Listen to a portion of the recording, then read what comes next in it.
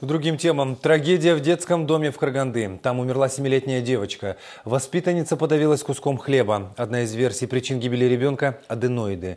В истории разбиралась Людмила Батюшкина. Девочка поднималась по лестнице, возвращаясь в столовой, когда стала задыхаться. Медики детского дома пытались оказать первую помощь, но ничего уже не смогли сделать. В принципе, меры сразу принялись, как девочке стало плохо. Да, там, э, когда происходит вот э, такое ЧП, вообще в жизни, да, такие случаи бывают, э, там решают все секунды. Пытались, конечно, пытались. По мере того, как оказывалась помощь, параллельно была вызвана скорая помощь.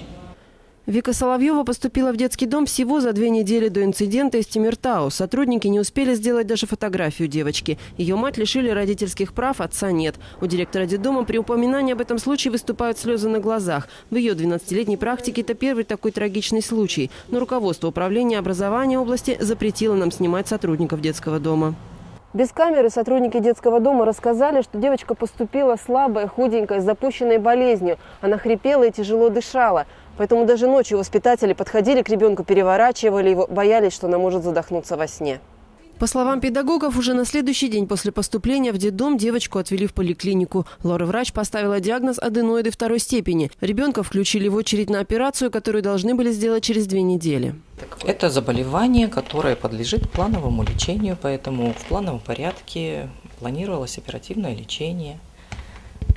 Девочке было назначено обследование – плановая санация хронических очагов инфекции для последующей госпитализации. Областным управлением здравоохранения проведено внутреннее расследование. Решили, что в трагедии никто не виноват. Несчастный случай.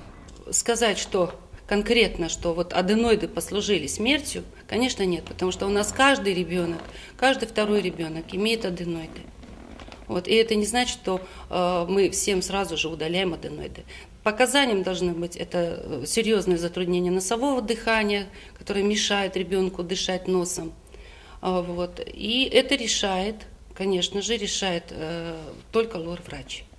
Заключение патолога-анатома о причине смерти девочки – механическая асфиксия пищевыми массами. На похоронах Вики ее матери не было. По словам педагогов, родителей ребенка не смогла разыскать даже полиция. Людмила Батюшкина, Ирина Ненашева, Информбюро Караганды.